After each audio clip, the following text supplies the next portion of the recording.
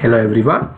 Today I am going to talk about how to import a text file or a CSV file from your Google Drive into R or r studio So in order to do that, first you should have installed the package called Google Drive into your r studio or R.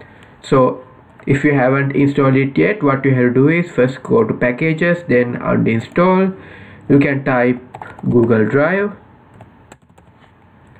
and click install. So after installing it, you have to import that Google Drive package into your RStudio by just clicking this option.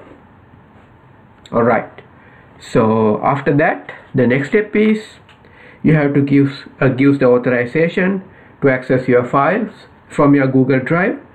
So in order to do that, you can use this uh, drive underscore auth function. So just run this uh, code and it will redirect uh, to your Google Drive. So from here, you can choose the uh, Gmail account that you, uh, you are going to um, import the file so I'm going to use this uh, Google Drive account.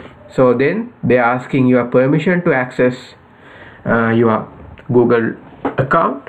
So just click allow. And here it says uh, authentication is complete. So now go back to our, our account.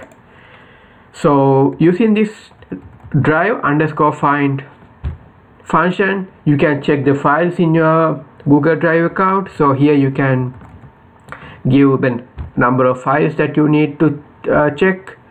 So since in my uh, Google account there are a few number of files are there so I just gave it as 10 but in your Gmail uh, Google account there can be more than 10 files. Let's say you have like 50 files or 100 files then based on that you can change this number uh, to any number you want.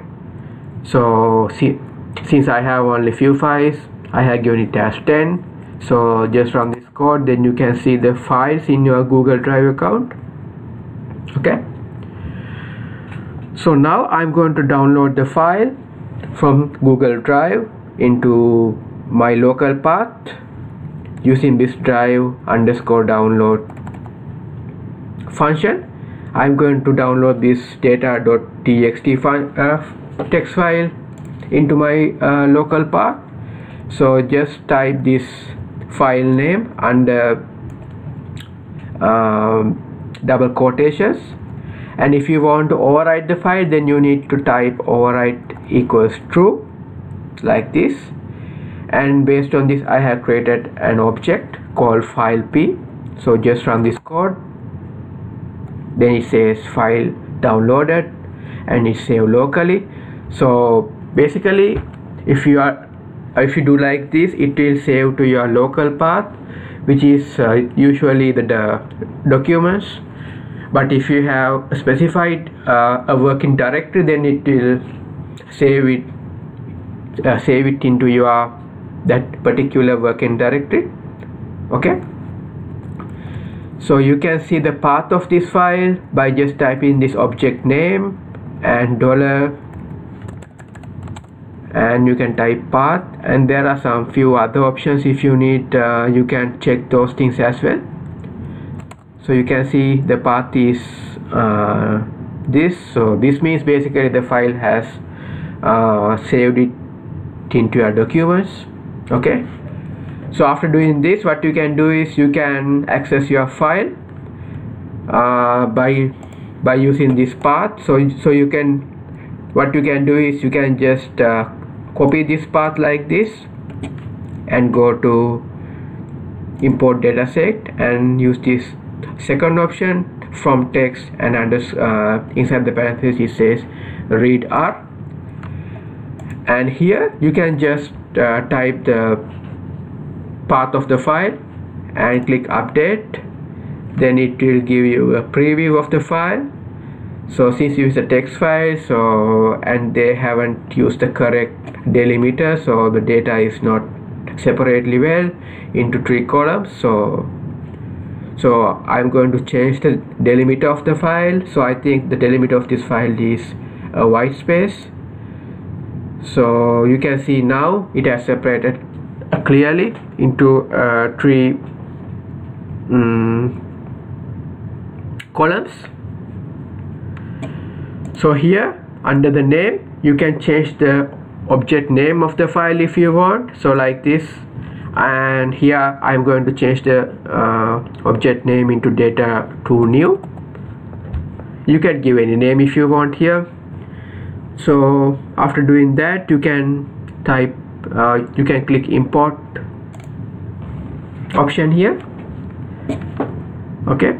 So now if you want to double check whether this thing has done correctly you can uh, check the check the variables in your uh, date object by using this str function. So str under the parenthesis you can give the object name. So here I gave it as data to new. So if you run this code you can see there are three files which is uh, three variables which is x1 y1 and x2 and if you want to just find the mean of the first uh, first x variable so you can just type uh, mean and under the parenthesis you can write data to new dollar x1 then it will give you the mean of the x1 variable okay? So that's how you can uh, upload or sorry you can import a file from uh, Google Drive and use it for your data analysis okay and the final two commands are basically some additional things you can use. So here using this drive dot uh, drive underscore user option you can check the user current user of your Google account. So this is useful in situations like uh, if you have a couple of Google accounts and you need to take uh, files from a couple of Google accounts. In that case you can just verify the, current user of uh, your Google account using this uh, drive underscore user option.